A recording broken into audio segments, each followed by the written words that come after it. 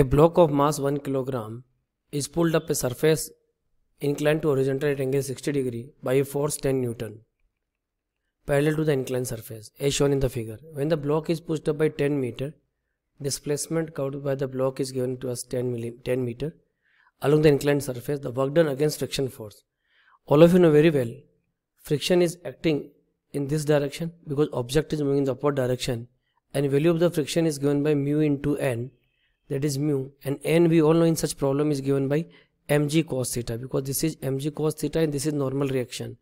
So it is mg cos theta. Mu is given to us that is 0.1 mass is given to us 1 kilogram. Gravity is given to us 10 then it is cos 60 degree. So it is given by 10 cancel. 1 into 1 into cos 60 cos 60 is 1 by 2 so friction force is 1 by 2 so work done by the friction force is known as a force into displacement.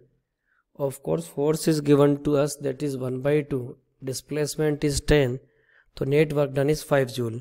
The right answer of this problem is option 2.